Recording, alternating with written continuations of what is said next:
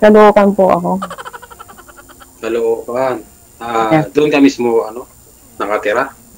Oo, bahay ko to. Sa bahay ko, sarili Eh, ko. Ah, Pilipinas ka. Oo. Ano pong work natin?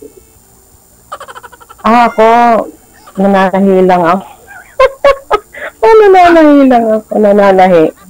Ah, Huwag mong lalangin yung nananahi dahil ano naman yung trabaho mo, marangal.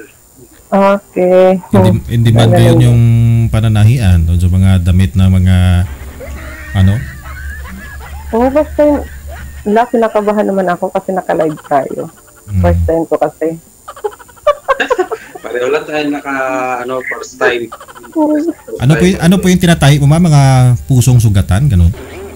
Ah, basahan po. Ah, basahan. Hindi, basahan, basahan po yung doormat. Aha. Doon sa mga walang pamunas dyan ha? Oo, oh, yung pwede mag-apply sila sa akin sa doormat. Yung, yung walang mga trabaho pwede sa akin mag-apply. Tutulungan ko. mag-apply. Ikaw pwede? Taga-deliver ng mga basahan mo. Oh, pwede. Yan na lang sa kanto ng ano ng Kanlaon magbibigay ng mga basahan sa mga jeepney. Ay, bakit Siguro mas pabilis, ano? bakit alam mo yung kanlaon? Oh, doon ako dati, doon ako nag-work Saan ka ngayon? dito sa Saudi. Saan sa Saudi? Umalis sa Riyadh, Mm, anong work mo ngayon?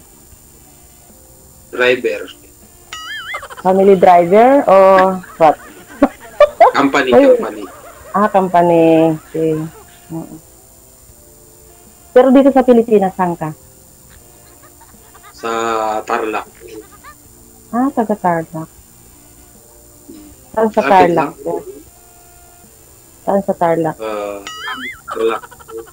Mm. Ano pala yan pang- mismo itim. Ha? Palokan o may province ka pa. Ah, Samar ako. Damar. Oo, waray. Ay, Waray, ay, waray. Ay, may upay ako. takot ang waray. Ah, Matapang daw ang waray. ay hindi. Totoo? Depende. ah, Depende. Depende. Baka mamaya, batuin mo ako ng basahan pag nagalit ka. Depende yun. Mayroon naman. Kahit naman sa inyo eh. Ganon din eh. Kahit saan sulok ka, may matapang, may mabait. Depende sa kausap mo. Depende. Diba? Oo. Ilan anak mo? Baka magulat ka. Marami akong anak. Sus, so, daming ano, ang dami nilang ama. Ay, hindi. Isa lang yung ama. Gago lang yung ama. Ay, Oo. Hindi. bakit? Apat ang anak ko. Pero isa na lang kasama ko. Yung tatlo, may ano na, may mga work na yun. Ah, Oo. malalaki na. Ang, ang, kas- oo, ang kasama ko na lang yung bunso ko. Rin, apat. Ah, panganay ko graduating na rin yan. Mm. Pero yung pangalawa, nagkatawa ng maaga. Ay, sayang. Ano, babae? nga eh. Lalaki. Mm. Dalawang lalaki, dalawang babae. Sa akin, dalawang lalaki, dalawang babae.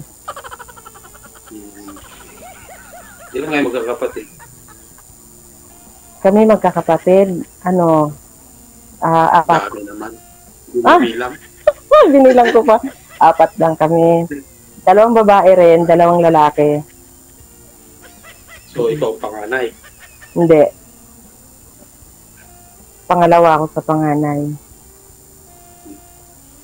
Ako naman panganay sa... Tatlo kami magkakapatid. Ako yung panganay. Dalawang babae, kapatid. Pero Sa ako yung pamilya mo, nasa. Tarlac? Ha? Nasa Tarlac. Ako yung pinakahuling nasa- nag-asawa, pero asawa ko. Siguro 5 years na rin. O bakit hindi ka na nag-asawa? Nasaan pala asawa mo? Ano, nag-stop sister? Ano, naghang. Ah! Nasaan na pala ngayon ang saang asawa mo? Sa probinsya. Doon pa rin. Tarlac. Oo. Taga Tarlac din siya.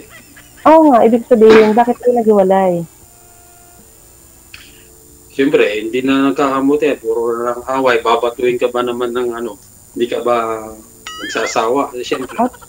Talaga? yung ano, inaano ko na lang yung mga anak ko na pero alam na nila ng anak ko. Pero iniintindi ko pa rin yung mga bata kasi mag-ano nung pag-aaral, paghihinto. Nahinto na sila noon, isang taon. Inayos ko lang nang hiwalay? Mm, halos limang taon na hindi na kami nag-uusap. Pero iniintindi ko muna yung mga bata. Oo. na pagka na-graduate na, doon ko na mismo. Pero sinasabi ko sa kanila na ayaw ko na talaga na magsama kami ng mama niya. Kasi nga, puro na lang away, hindi, hindi ko masabi. Siyempre Oo. ako ay galing din sa stress dito sa trabaho. Oo. Pag uwi, pag uwi, stress din. Hindi siyempre, iwas na lang ako sa kanya. So, ilang taon ka nang hiwalay? Limang taon na. Ah, five years. Ako, eight Pero years. wala pang closure. Wala pang closure na pero hindi kami nag-uusap. Hiwalay po sir. Ah! Sinabi ko na rin sa Sir, Talagang magkakabalikan pa kayo. hiwalay po sir, hindi sir. ay malabo. Malabo na. Ah, Sir, hiwalay po Ah, sir, wala hindi akong sir. narinig. Excuse me. Okay, kasi gusto ko klaruhin ha. Ayoko ng gulo dito. Hiwalay sir, hindi. Hiwalay. Okay, klaro ha. Oo, klaro. kung balikan po kayo ha, sa inyo na po yan. Oo. Ay, mm, ako kasi 8 years na akong hiwalay. Never ako nagkaroon ng boyfriend. Ako din. Alas lang tayo. Napili. Oo. Kasi ayaw ko nang magulo. Mm-mm. Kasi alam mo sa totoo lang, masakit sa ulo eh. Kaya nga nang sumali ako dito. Gusto ko makahanap ako ng forever. Oh! Malay Oo, mo, talaga. makahanap ka. Malay mo, nasa harapan ko. Uy, Yun nga. di ba? No, walang imposible. Imposible. Di ba? Darating, wag mong hanapin, kusang darating. Di ba? Oo, tama yun. Tama. Correct ka dyan. Mahirap naman, pagpipilitan mo yung, yung sarili mo sa tao, eh, ah, hanggang sa una lang pala. Tapos Oo. bandang huli, iiwan ka rin, di ba? Oo, Kaya mas maganda yun. yung yung darating na para para talaga sa iyo. Yun na Eh, yun. sino nag-aalaga ng mga anak mo? Ha? Sino Eh, nag-aalaga siyempre, um, nanay niya, kasi magulang ko, ah, patay na rin yung father ko. Mother Oo. niya rin, wala na rin. So, siya mismo talaga mag-aalaga. Kasi wala Oh. naman ako doon. Ah, panganay ko na rin eh, yung 22 years old. Oo, Tsaka yung oo. bunso ko na 9 years old. Eh, malalaki Kaya- na rin kaya. sila. Mm-mm. Kayang-kaya na. Kaya, May- kaya, may- nag-aaral pa. Sa, sa trabaho, dapat tiis talaga. Mm, ganun talaga tayo mga ano. Ako nga, sinulo ko, single mother ako talaga, sinulo ko. O marami akong obligasyon araw-araw. Kasi obligasyon natin yan na magulang.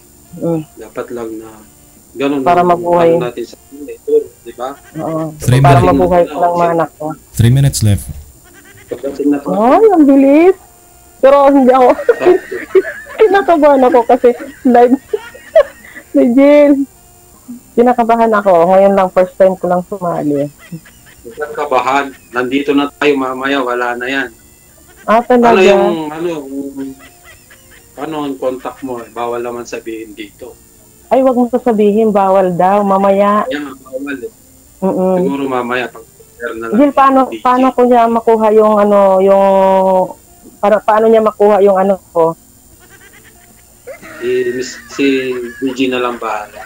Ewan ko. Siya na lang ang bahala. Bahala? O yung pagkakaloob niya sa akin. Ah, talaga. Ni Jill, pagkaloob daw. Hindi po yan sa'yo ma'am kasi i-offer ko po kayo. Pag off-air po, doon po kayo mag-usap. Wala po kaming access, wala po kaming info ninyo ma'am, wala po kaming pangalan ninyo sa Facebook, number. No? Oo. Ganun po. Pag Eh, paano kami off-air, mamaya magkaanuhan? pag off-air, Oh, pag off-air, kaya nga po sinasabi ko 3 minutes na lang eh.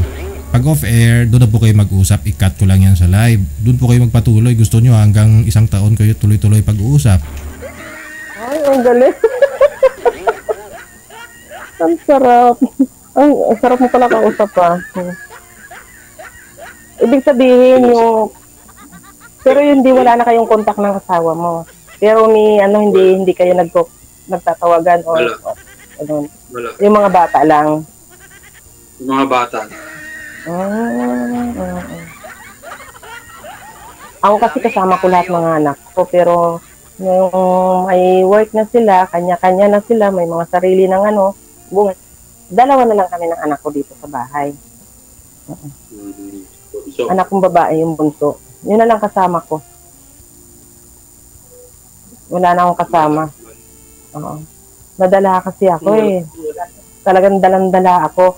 Kasi nung naghiwalay kami ng asawa ko, parang ang tingin ko sa lalaki, lahat puro mga gago. Chew. Si Jill, bad ako. sorry, sorry, sorry, sorry. Sige. No, i-offer ko na kayo ha. Thank you, thank you. Salamat. Okay. Okay. Last